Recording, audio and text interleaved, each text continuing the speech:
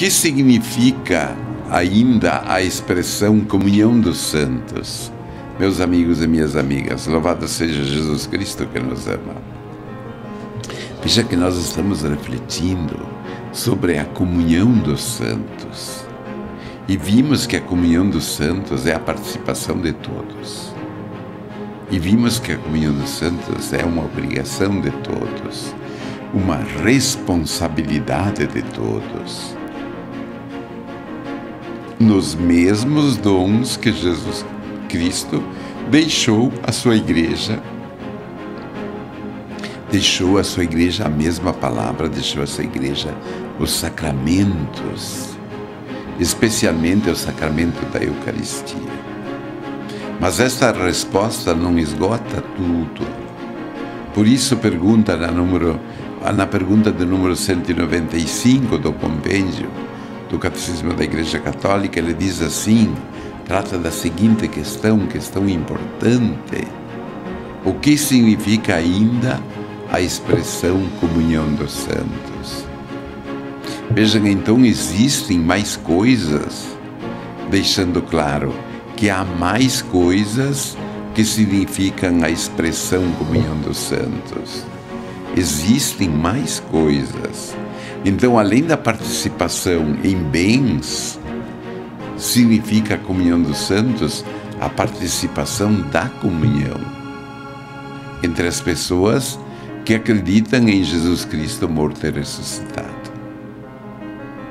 Que são essas pessoas que acreditam em Jesus Cristo morto? O que, que significa essas pessoas que acreditam em Jesus Cristo morto e sepultado e ressuscitado? Que foram tocados pela sua graça. Então, em primeiro lugar, nós queremos, nós que peregrinamos nesta terra, nós que estamos procurando nos santificar, ouvindo os ensinamentos e bebendo da sua fonte d'água viva, caminhando com Ele, que é o bom pastor. Mas pertence também à comunhão dos santos aquele que já aqueles que já peregrinaram nesta terra e estão se purificando diante de Deus. Porque porque nada de impuro pode estar diante de Deus. É a pessoa que vai dizer: Eu tenho que ficar no purgatório um tempo. Passam pelo purgatório, como também pertencem à comunhão dos santos. Todos aqueles que estão no purgatório pertencem à comunhão dos santos. E nós temos que rezar e rezar todos os dias pelas almas daqueles que morreram. Vejam, pertence à comunhão dos santos aqueles que estão na glória dos céus, que participaram desta vida e que estão agora na comunhão do louvor e ver o Senhor face a face. Não mais levados pela fé, não mais levados pela esperança, mas mergulhados no amor de Deus. A comunhão dos santos é, pois, esta comunhão e entre os que trabalham e lutam, a igreja militante assim chamada, a igreja padecente que está no purgatório e a igreja vitoriosa que está no céu, porque já alcançou a sua plena realização.